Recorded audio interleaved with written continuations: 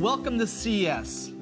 I am Michael Moskowitz, CEO of Panasonic Corporation of North America. Last year brought us many new challenges, but it also brought us great opportunities to find new solutions. That's why I'm so excited to welcome you to a first of its kind CES, all digital for 2021. We believe that the potential for innovation is everywhere and in every moment and we can't wait to share many of our latest technologies with you right now.